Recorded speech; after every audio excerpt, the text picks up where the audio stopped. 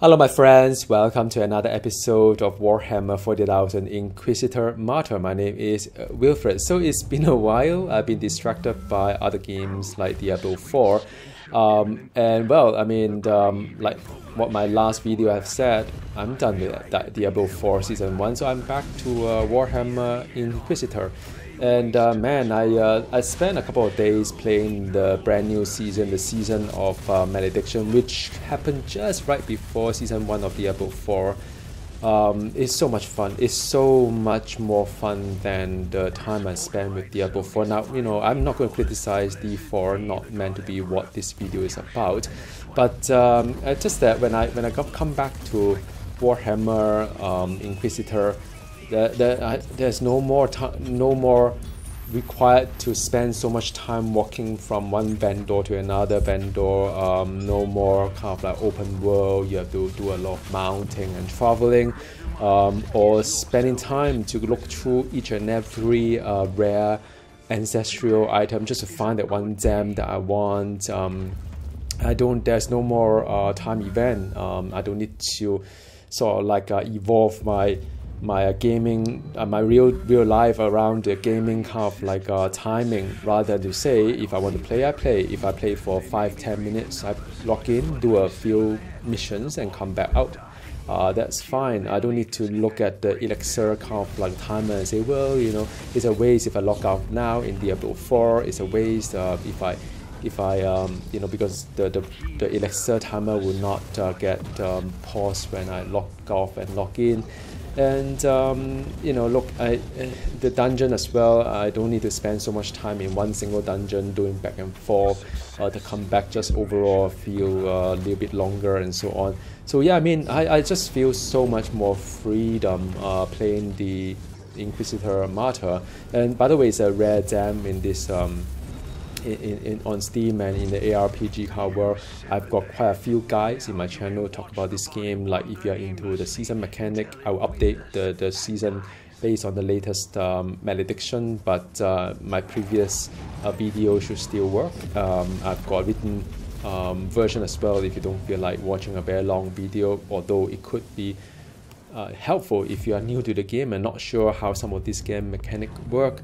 Um, I've got video on tips on uh, leveling as well and um, some game guide for Battle Sister or Tat Priest. So yeah, I mean, coming back to uh, Inquisitor Martyr, I feel that um, I now have really meaningful kind of like character or gear progression. I can see, you know, time and time again, I can improve a little bit. I can experiment, build a lot better. I don't need to kind of like you know uh, invest so much time into the whole entire paragon or skill tree in Diablo 4 which kind of like it just stagnant.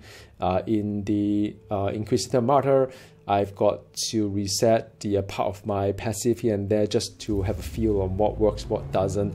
Um, and the crafting is a lot more flexible. Like you know if you compare the two games uh, both games have a lot of affixes on their uh, good gear but you know in in Warhammer Inquisitor, you don't need to find those exact matches. You just need to make sure that you've got the right quote unquote legendary. Um, there's a similar term in, in the Warhammer universe, and you just uh, you can just do all the crafting you want. Of course, it costs a little bit uh, effort to, to do some crafting, but uh, you don't need to worry about the affixes not suitable to you. What you need to worry about is that are those affixes uh, relevant to your build, and that's all. You just need to change anything, everything you want Man is so good. Now, of course, last but not the least, auto looting. I don't need to click on the ground anymore.